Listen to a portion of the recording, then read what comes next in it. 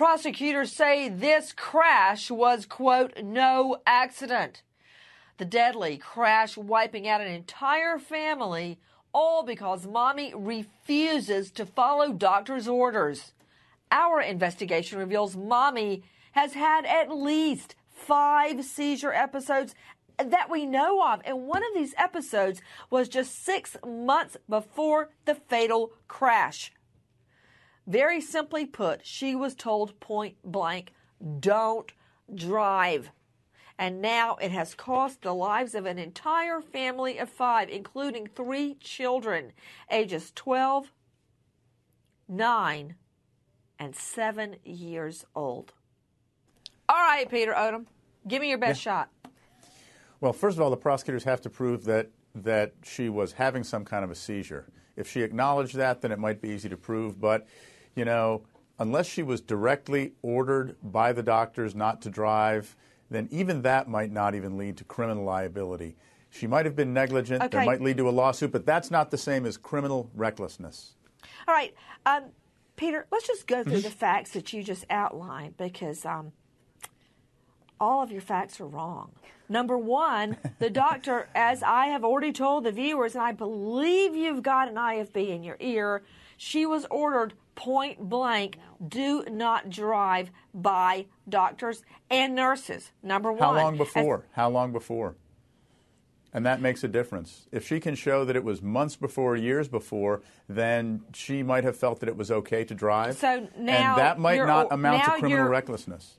Now your argument is is backsliding. You're going, oh well, okay. Now you're saying she was ordered not to drive, but maybe it was so long ago it didn't matter. What did you say your defense would be?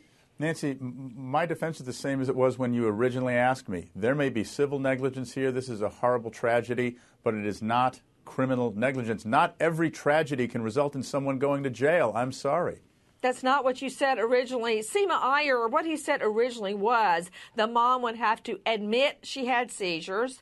And uh, let's see, what was the other one? There was some other. Oh, and how long had it been since her last seizure? It's been, that we know of, as recently as six months.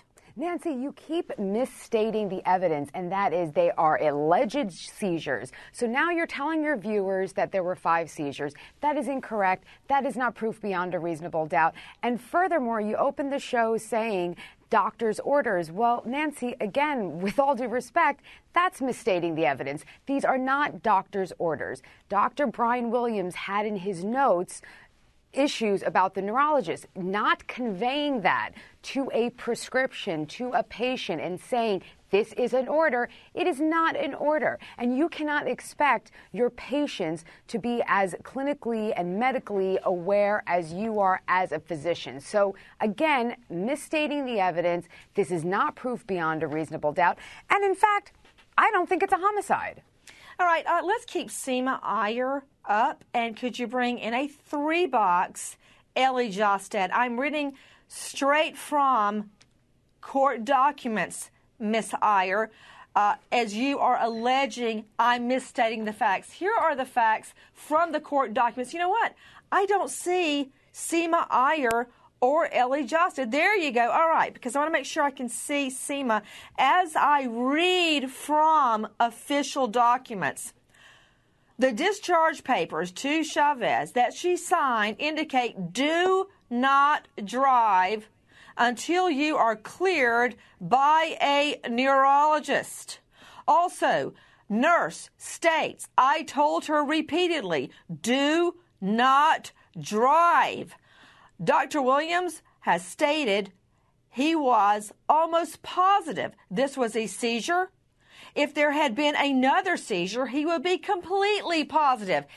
And the reality is, Seema Iyer, is that she, the defendant, knew about all these other episodes and point blank would not follow doctor's directions. Now, I'm reading directly from court documents. Are you suggesting the court is wrong that these people under oath are lying, Miss Iyer? I'm suggesting, Nancy, that you're exaggerating the magnitude of these statements. I mean, you're talking about Dr. I'm Brian reading. Williams. No, no, no, no, no. I'm reading them point blank. How is This- that exaggerating? Because number one, the discharge summary is not the same as a prescription written by No, a no, no, doctor no, and an no, order. no, no. You answer me.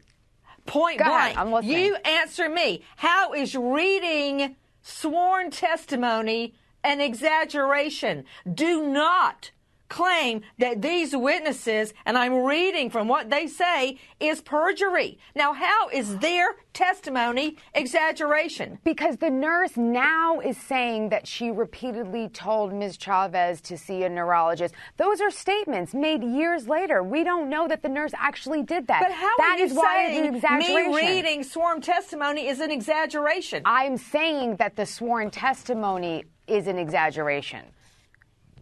Miss we Iyer. cannot be sure of Miss any of these facts. Yes, if you dare to suggest that these witnesses, a neurologist and a hospital nurse, are lying under oath, is that what you're saying? Well, think about it, Nancy. They're probably going to be sued for malpractice at some point. no, I'm asking you. Are you saying they're lying? Because first of all, you said I had a I said misstatement of facts. I said exaggerating. First of all, you said I had a misstatement of facts. Those were your words. Then you It said, isn't oh, a no, statement of facts. Your screen that comes up on your show says alleged seizures. So factually, they are not seizures. You're putting them forth as alleged um, seizures. Are you an MD or a JD? A JD. Right. But I am a forensic science specialist, so with that, right. I'm listening. Now, yes. back to what we were saying. Yes. First, you said that my rendition was a, a misstatement of facts. Now I have read to you from official court documents. Now you're saying, okay, that's not a misstatement. That's an exaggeration. So who's exaggerating? I'm reading from a court document. Straight out to Charlene in Florida. Hi, Charlene. What's your question? Hi, Nancy. First, I'd like to say I don't know how you do it because if I had to talk to Peter Odom and Seema Iyer, I'd probably shoot myself. Um, Yeah, that's I'd why like- I don't even own a weapon. I don't even want to be tempted. I, Okay, I go don't ahead. blame you. I would like to say that I am almost disgusted being on this planet anymore. What happened to personal accountability? If you are suspected of seizures and the doctor's notes tell you do not drive until you are cleared by a neurologist, Seema Iyer, maybe you need to go back and get some more education.